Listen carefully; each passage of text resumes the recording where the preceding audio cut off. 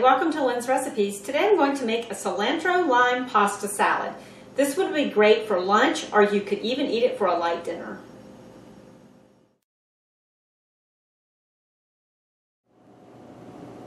The amounts of the ingredients that you're going to need to make this pasta salad will be listed in the information box below. You can find it on the website or the Roku channel. This is what you're going to need.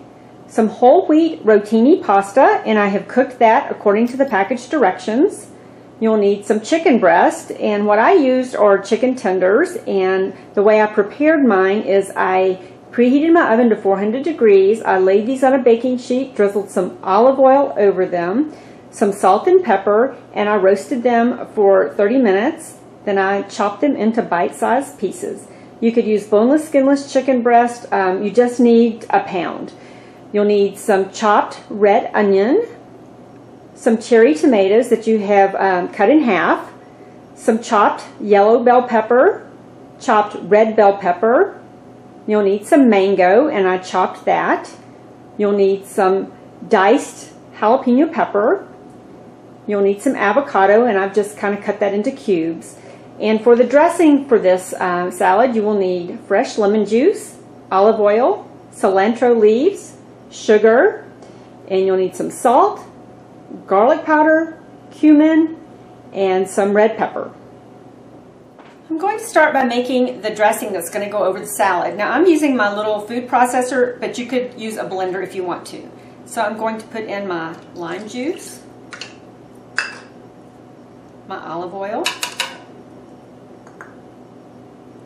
my sugar, cilantro, and the red pepper, cumin, garlic, and salt. I'm just going to put the top on and mix this all together.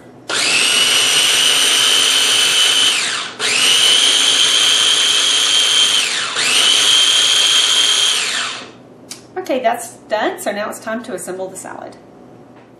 I have a big bowl here, so I'm going to add my pasta, the cubed chicken,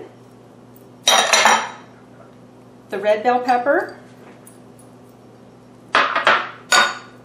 the yellow bell pepper, my red onion, tomatoes. It's a colorful salad. And the jalapenos.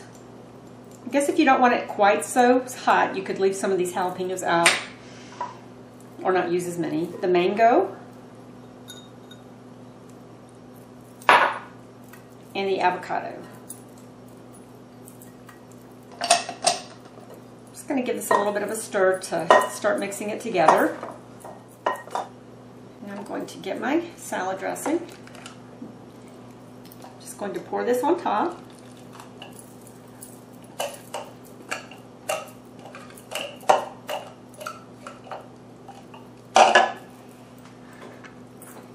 Just give this a stir.